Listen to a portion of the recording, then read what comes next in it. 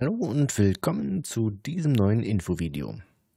In der letzten Woche haben wir ja darüber gesprochen, dass es leider auch viele deutsche Callcenter gibt, die illegale Werbeanrufe tätigen. Heute habe ich euch mal ein etwas anderes Thema mitgebracht, und zwar, wie es in solchen Callcentern selbst aussehen kann. Und zwar vor allem, wie leicht man in so einem Callcenter überhaupt landen kann. Dazu habe ich euch mal eine kleine Geschichte mitgebracht, und zwar von mir selbst.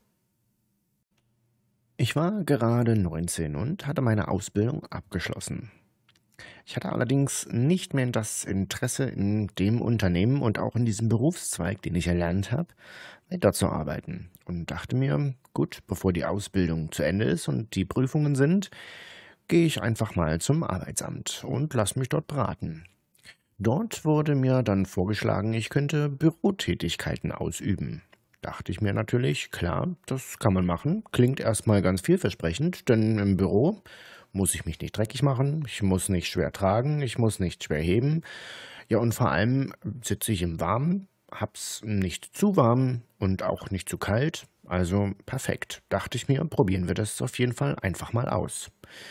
Ja, und dann hatte ich mich in einem Callcenter beworben. Und dieses Callcenter war natürlich äh, erstmal sehr begeistert über, ja, Frischfleisch. Wie man das zum Hintergrund oder im Nachhinein so beurteilen kann, haben die sich auf jeden Fall echt über einen naiven, dummen 19-Jährigen gefreut. Ja, man versprach mir gleich eine Schulung und die erfolgte dann auch, nachdem ich dann ähm, ja, mit, mit, meiner Ausbildung fertig war, die Ausbildung abgeschlossen habe, gab es dann in dem Callcenter auch gleich eine Schulung. Die Schulung ging fünf Tage lang. Ähm, übrigens zu dem Arbeitsvertrag, den man da in so einem Callcenter bekommen hat. Tja, da fängt es eigentlich schon an, menschenverachtend zu werden. Und zwar, ich meine, damals in meiner Ausbildung hatte ich 350 Euro im Monat nicht gerade viel, also im dritten Lehrjahr. Und da kam das Callcenter mit 700 Euro Monatsgehalt daher und das klang erstmal sehr viel in dem Alter, wenn man vorher noch nicht so viel Geld zur Verfügung hatte. Vor allem noch nicht selbst verdient. Naja, was ich da noch nicht einkalkuliert hatte zu dem Zeitpunkt, die Zugfahrkosten zu diesem Job die haben bei mir mit 200 Euro im Monat zu Buche geschlagen. Das heißt, von meinem tollen Gehalt blieben noch 500 Euro über. Dazu muss man sagen, die Callcenter, also die eben so arbeiten, stellen auf jeden Fall nicht mehr als fünf bis sechs Stunden ein. Man fängt mit fünf Stunden an. Vielleicht, wenn man sich gut führt, kann man auch sechs Stunden arbeiten. Tja, aber mit fünf bis sechs Stunden im Monat beziehungsweise in, am Tag und 20 Stunden bis 30 Stunden in der Woche kommt ihr niemals auf 1000 Euro beziehungsweise 1300 mittlerweile an Mindestlohn. Und den gab es damals auch noch gar nicht. Und selbst heute wird diese Methode noch angewendet, dass man ja einfach Mindestlohn gibt und dann die Leute gar nicht voll acht Stunden arbeiten lässt. Und so hat man auch ja, keine finanziellen Möglichkeiten in diesem Moment. Na gut, aber wir waren bei der Schulung stehen geblieben. Es gab dann also von diesem Callcenter eine Schulung. Da brachte man mir bei, wie man mit Leuten am Telefon spricht, alles ganz okay. Und es gab natürlich auch den überall bekannten Leitfaden. In diesem Callcenter war es allerdings ein bisschen anders. Das Callcenter rufte am Anfang erstmal noch keine anderen oder keine, keine Kunden selbst an, sondern man ging halt gleich in den Markt auf Dummfang. Und zwar gab es dann ähm, für Kunden, die Zeitschriftenabonnements bereits hatten, gab es dort dann ähm, ja, so, so eine Art Werbebeilage. Die Werbebeilage war mit einer Rufnummer versehen und ein paar schönen tollen Bildchen, was man so bekommen kann als treuer Kunde. Die treuen Kunden wählten dann auch schon die kostenlose 0800 Rufnummer, um bei uns im Callcenter anzukommen. Ja, dabei erfuhren sie, dass es eine tolle Kaffeemaschine oder auch eine schöne elektrische Zahnbürste gibt, was wir dabei nicht verraten haben. Und ähm, ich als Callcenter-Agent auch selbst nicht wusste, ja, dass die tolle elektrische ähm, Kaffeemaschine, ja, das war der größte China-Müll, fast auseinandergefallen und die super elektrische Zahnbürste war nichts anderes als eine Billigzahnbürste mit Batterie. Also nicht mal mit einem Ladekabel oder einer Ladestation. Es war halt eine Batterie drin. Super. Und dazu gab es dann ein Zeitschriftenabo. Angeblich natürlich vergünstigt.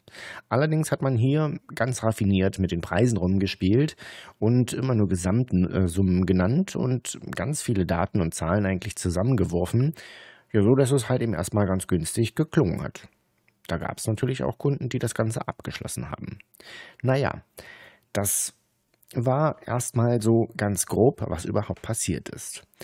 Ich äh, setze aber wieder weiter früher an. Ich bin aus der Schulung gekommen und äh, betrat das erste Mal den echten großen Callcenter-Raum. In diesem Callcenter waren es zwei große Räume. So groß war das Callcenter tatsächlich gar nicht. Es umfasste ungefähr 50 Personen. Äh, in dem Raum, wo ich war, hatte ich Glück, saßen nur 20. Allerdings an großen runden Tischen mit schönen Trennwänden dazwischen. Jeder hat seinen Monitor, Maus, Tastatur und das war's dann auch schon. Einen festen Platz gab es damals nicht. Ja, man betrat das Callcenter, man arbeitete dort, äh, arbeitete dort am Telefon, was auch immer ganz wichtig ist zu wissen. Wenn man in so einem Callcenter arbeitet, dann könnt ihr euch nicht aussuchen, wann der nächste Kunde im Telefon hochploppt. Ganz zu Beginn war das noch so. Man hat 14 Tage Probezeit, also Schonzeit. Welpenschutz nennt man es ja immer so gern. Ja, so lief das auch in diesen Callcentern ab. Man hatte Welpenschutz und da konnte man dann immer noch nach den Telefonaten kurz verschnaufen und naja, und dann eben wieder selbst freischalten, das Telefon mit einem Knöpfchen am Gerät selbst oder eben auf dem Bildschirm. Diese Funktion wurde allerdings exakt automatisch ohne mir Bescheid zu sagen, nach 14 Tagen abgeschaltet. Das heißt, ich habe aufgelegt und sofort war der nächste Kunde in der Leitung. Und da konnte ich mein Skript von vorne runterrattern. Ja, und man kann sich vorstellen, viele Kunden legen auf, man wiederholt das Skript, der nächste legt auf, man wiederholt das Skript, der nächste legt auf. Es gibt auf jeden Fall schönere Arbeit. Naja, aber meine Eltern haben damals immer gesagt, Junge, du musst arbeiten, Arbeitslose sind faul, man, man ist nicht arbeitslos, jeder muss sein Geld verdienen, Arbeit macht keinen Spaß, da braucht man auch nicht jammern. Ja, ist ja auch so, vom Prinzip. Auch wenn Arbeit Spaß machen sollte, aber bei den meisten ist es ja leider nicht so. Naja, und das Problem hierbei ist, man ist gerade mit der Ausbildung fertig, man will natürlich sein Geld verdienen, auch wenn es in dem Punkt noch nicht viel ist. Für mich waren damals 500 Euro schon sehr viel nach der Ausbildung, war ja mehr als vorher. Nervig war der Fahrweg von jeweils eine Stunde. Einmal eine Stunde hin, eine Stunde zurück und dann habe ich da noch fünf Stunden in diesem tollen Callcenter verbracht. Links und rechts saßen neben mir andere Leute, wo sich im Nachgang herausgestellt hat, dass das auch alles Leute sind, die entweder große Schulden haben und unbedingt arbeiten müssen oder schon steinalt und keiner will sie mehr auf dem Arbeitsmarkt und irgendwas müssen sie ja tun, weil, naja, bis zur Rente ist noch eine Weile. Oder sogar viel, viel schlimmer, es arbeiteten dort auch Menschen, die schon Rente beziehen, ja, aber tatsächlich viel zu wenig zum Leben haben und irgendwie muss man das Geld aufstocken. Also da ging es tatsächlich ums Überleben. Und genau das war auch das Gefühl, was man in diesem Callcenter bekam. Denn die Zeitschriften, die ihr verkauft habt, da gab es Listen. Und zwar äh, Listen, wie viel Zeitschriften ihr verkauft habt. Die wurden öffentlich ausgehangen. Das heißt, es gab jeden Tag, das war auch Pflicht, dass ich immer vor Antritt der Arbeit auf dieses, auf dieses schwarze Brett gucken musste mit den neuen ausgedruckten Statistiken. Man musste sich immer anschauen, wer hat am meisten Zeitschriften verkauft. Dadurch entsteht natürlich auch eine Art Druck in diesem Callcenter und eine Art Gerangel. Und was die absolute Todsünde war, wenn man irgendeinen äh, Anruf reinbekommen hat von einem Kunden, wo schon mal jemand anders mit diesem Kunden gesprochen hat und der hat sich nochmal überlegt und tatsächlich so eine blöde Zeitschrift gekauft. Wenn ihr den Auftrag dann entgegengenommen habt, es gab ja auch keine Möglichkeiten zum Durchstellen, ja, dann war der Mode, wenn das rausgekommen ist. Und Datenschutz war damals auch noch kein Begriff, also nicht so wie heute. Und man konnte immer wieder in diese Kundendatensätze auch reingucken, wenn man das wollte. Man hatte so Historien, wo man alle ja, Kunden, die man so hatte, anklicken konnte. Man konnte tatsächlich sogar sehen, welcher Mitarbeiter mit diesen äh, Leuten gesprochen hat. Ist heute sicherlich alles ein bisschen anonymer und versteckter, zumindest unter den Mitarbeitern. Damals war es so nicht. Naja, und so langsam äh, dämmerte mir das dann auch, äh, in was für einer Firma ich eigentlich arbeite. Es geht hier nur um Abschlüsse und man muss davon möglichst viele schaffen.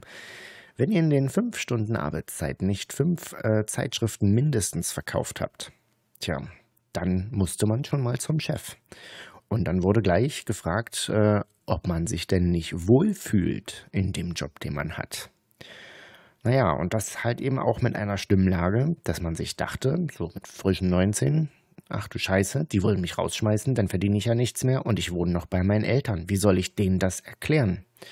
Ja, und dann steckt man da in so einer Situation drin, in einem Abwärtsstrudel, der auch definitiv von alleine nicht besser wird.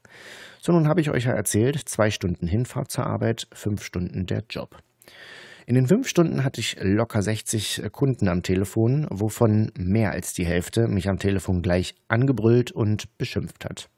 Klar, ich meine, letztendlich, die Kunden dachten, die kriegen hier ein tolles Geschenk und soll jetzt äh, eine Zeitschrift kaufen und haben sich tatsächlich die Mühe auch noch gemacht, bei uns selbst anzurufen. Ja, ich meine, das habe ich dann natürlich selbst gemerkt, in welche Richtung es geht. Auf jeden Fall waren es keine illegalen Anrufe in diesem Fall, aber schon ein sehr bedenkliches Konzept. Und ich habe natürlich dann auch versucht, ganz schnell aus dieser Firma wieder rauszukommen. Ja, das stellt man sich aber einfacher vor, als es ist. In den erlernten Beruf wollte ich nicht zurück, weil keine Perspektiven und, naja, behandelt wurde ich da auch nicht ganz gut. Und man hat aus äh, anderen oder von, von den Mitschülern damals in der Klasse gehört, bei den anderen läuft es nicht besser. Und dementsprechend habe ich mir gedacht, ja, wir müssen uns unbedingt was Neues suchen, aber das, was ich jetzt habe, ist keine Alternative und das, was ich vorher gemacht habe, ist auch keine Alternative. So, aber wenn man dann jeden Tag fünf Stunden arbeitet, eine Stunde zur Arbeit fährt, eine Stunde zurück, dann ist man zwar nur bei sieben Stunden, zwischendrin wurdet ihr aber fünf Stunden lang fast am Stück eigentlich nur angeschrien. Da ist man geistig schon so richtig im Arsch. Bock auf Telefonieren habt ihr da definitiv nicht mehr. So, und dann sind die Arbeitszeiten auch so klug gewählt, dass natürlich die Ämter immer dann geschlossen haben, wenn man dann Feierabend hat. Das Arbeitsamt war auch damals schon, naja, von den Öffnungszeiten nicht so berauschend. Also das hat sich im Vergleich zu heute nicht geändert. Das Einzige, was sich geändert hat, ist zwar, dass das Gehalt gestiegen ist, naja, aber die Callcenter haben halt einfach Tricks. Dann schrauben sie die Stunden nach unten und dann kriegt er halt wieder weniger Geld. Es mag auch Callcenter geben, wo es Provisionen gibt. Weiß ich nicht, ob man die hier auch in Deutschland hat. Zumindest ist mir das so jetzt noch nicht geläufig gewesen. Auf jeden Fall habe ich dann später versucht, das Arbeitsamt irgendwie zu kontaktieren. Das war dann auch nur möglich mit einer Krankschreibung, damit ich überhaupt einen Termin wahrnehmen kann. Habe ich dann auch getan. Ja, und da sagte man mir dann so, entweder du gehst jetzt in den alten Job zurück, den du gelernt hast und musst dich damit abfinden, oder wir suchen dir einen neuen Callcenter-Job raus. Was anderes bekommst du von uns nicht. Super. Das heißt, ich war wirklich auf mich allein gestellt. Und ihr wisst, es war auch damals schon so, wenn ihr selber kündigt, aus irgendwelchen Gründen, weil euch der Job halt keinen Spaß macht, dann kriegt ihr eine Sperre vom Amt. So, und ich ohne Geld bei den Eltern, der ausziehen wollte, was sollen wir da tun? Da gab es tatsächlich keine weiteren Alternativen und auch keine wirkliche Unterstützung dazu. Irgendwann hat halt bei mir das Glück dann da eine große Rolle gespielt. Ich habe halt auf, äh, ja, auf gut Glück halt viele Bewerbungen geschrieben. Ja, aber wenn ihr da so reinschreibt, dass ihr in einem Callcenter arbeitet, tja, dann müsst ihr euch danach erstmal ganz schön hochkämpfen. Weil so Callcenter, die dann auch noch als Outbound Callcenter äh, betitelt werden. Also das heißt, ihr telefoniert raus. Es war in diesem Fall so nicht, aber es war ein Outbound äh, Callcenter, weil letztendlich war es ja nichts anderes als ich verkaufe was. Ja, also es war hier nur clever gelöst, aber letztendlich, wenn ihr ja in einem Callcenter arbeitet, wo ihr was verkaufen sollt und nichts anderes tut, also kein Kundenservice, nichts Sinnvolles, Tja, dann könnt ihr euch vorstellen, wie leicht es ist, danach auf dem Arbeitsmarkt wieder Fuß zu fassen. Ihr seid ganz unten angekommen. Und so war es dann bei mir auch. Also ich musste wirklich kämpfen, um danach vernünftige Jobs zu bekommen. Ist dann auch später alles ein bisschen anders gelaufen, hatte dann auch, wie gesagt, schon Glück. Aber so kann es halt in so einem Callcenter eben sein.